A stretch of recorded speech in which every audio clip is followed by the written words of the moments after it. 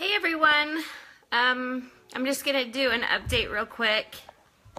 I know there's tons of outlets of great information out there, but um, those of you that aren't friends with the other contacts that are doing information, um, here's my update. I obviously am not there, so I'm getting lots of information from everyone, but I did talk to to uh, our lawyer team. Um, Ammon's gonna be um, finished on Monday. They're gonna final finalize. Excuse me, sorry, water. Finalize on Monday what um, what they're gonna decide. So judge is gonna do that on Monday. Ryan was denied. I heard he did a phenomenal job, which is heartbreaking because all of his children were there. And that is politics, my friends.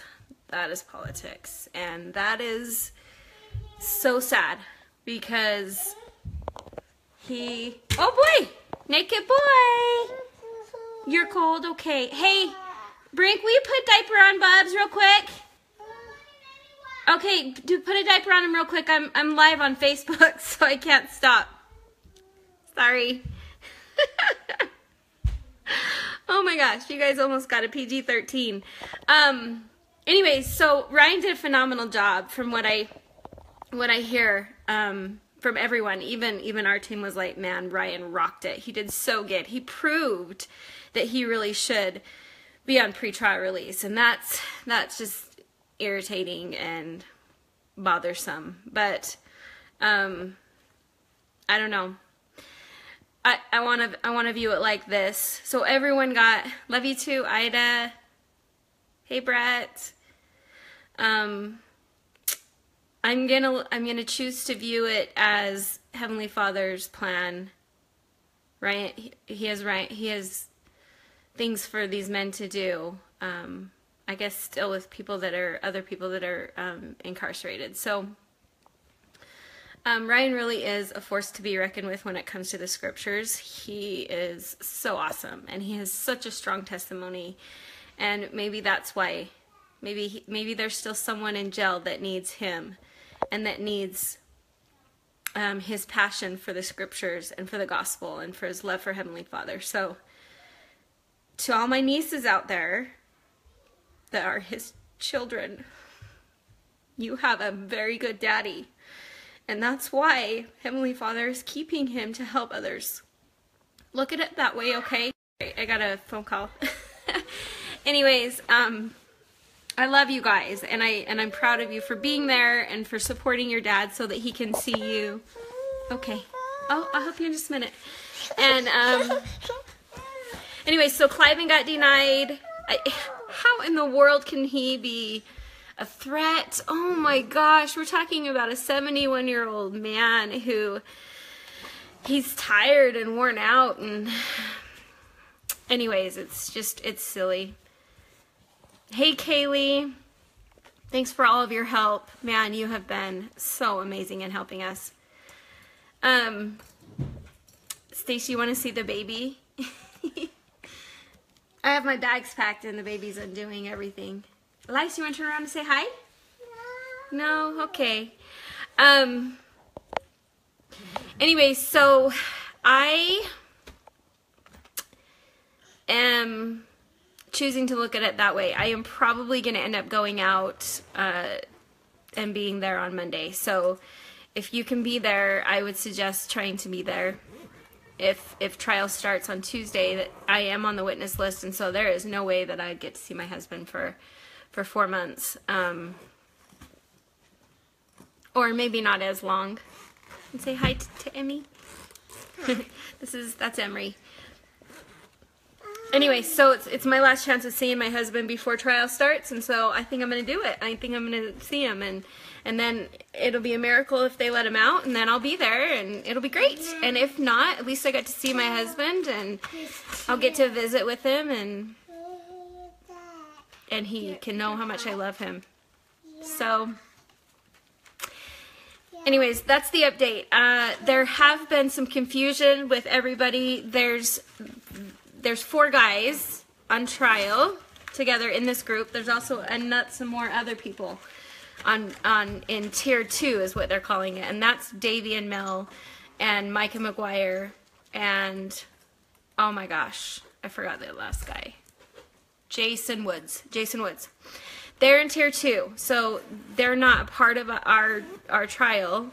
Um, so in ours, there's Cliven, Ryan Bundy, Ryan Ammon, and Ryan Payne. So when they the reason the way they say when they say that um, Ryan Payne was denied because he pled out in Oregon, they're talking about Ryan Payne. They're not talking about Ryan Bundy because Ryan and Ammon were acquitted in Oregon. That was our miracle. It's coming, guys. It's coming. So, um, anyways, I want to thank everybody that was there today.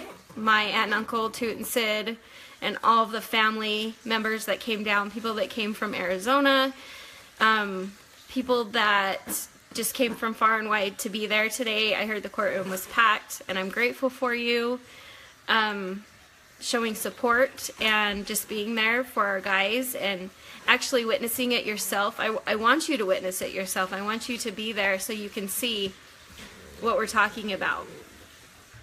And then you can go home and you can just try to teach your family to be better and not do the same things that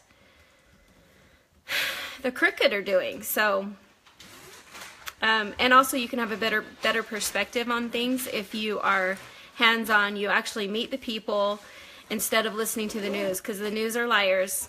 It just is. Um, I, I, I won't interview with certain people ever again because because of their lies. They twist things. The prosecutors twist things. It's it's the devil's way. That's what he does. Um, and and I don't want to be a part of that. I don't want to be a part of that at all. So, um, anyway, so that's the update. No no release for any of the guys today. All of them were denied. Ammon will probably be denied on Monday. So, um, but uh, we can still pray for a miracle. Now, this whole weekend, they have Friday, Saturday, and Sunday to, when I say they, the prosecutors and the judge, to, to do whatever they can figure out to keep Ammon incarcerated. So if we can pray super hard for um, for the only the truth to be exposed, then um, he'll be protected by by the truth. So if you can help us in, in praying for that, that would be great. And then um, eventually we'll get the trial started and uh, we'll go from there. And then there'll be more updates. So thanks, thanks for everything. Um, thanks for coming straight to the source and not believing the news outlets because the only thing they want is a story and they don't care what lies they tell to get it. And uh, when I watch the news now, I'm reminded. I don't watch the news now. Actually, I can't. Makes me makes me disgusted because there's a lot of things that don't tell me are correct. Um, just know that when you're reading the newspaper and you're watching the news, there's probably only like three percent of that story that's actually the truth. I know because I've been that story before. So is my husband. So, um, I, I thought about doing one more thing to tell you about how fun loving my husband is. When we lived in Arizona, he, he liked to um, make people laugh. He just was all about lightheartedness. And um, we had a friend who would, him and her were working together in a church calling, and she had come by, and her and I are really, really good friends. And she had a carload, a carload of kids in her van and she just had to run in real quick and talk to me about something. Well, while she was talking to me, Ammon got in her car and reversed it behind our gate. This is in Arizona, behind our gate. And then he shut the gate and he told the kids, you know, hey, be quiet. You know, I'm going to pull, pull a joke on your mom. And and so then he runs in and he's got this smirk on his face. And I'm looking at him like, what do you have going on? What's up your sleeve? And and then she goes, okay, I better go. And he walks out and he says, Wait for it, Lisa, wait for it. And all of a sudden, she screams. And I mean, we're talking Phoenix, so it really is possibility of someone stealing your your car with all the kids in it. And um, she's like, "Oh my gosh, my car is gone." And then Ammon runs out there and he's laughing so hard. And she's like, "Oh, Ammon." And he's like, it's behind the gate. Ha ha ha. Anyways, he's funny. He's lighthearted. We need to get these men home. And he, he, he's so fun. Anyways, um, just another fun thing about Ammon, just to get to know him a little bit more personal. So, anyways, that's it. You want to say bye, Ams? Bye. Good night. Oh, Brinkley wants to say bye too. Bye. bye. All right. Good night, friends. Bye. I'll update you when I um. Dell, you want to join my broadcast? What does that mean? Okay, I'm gonna add you.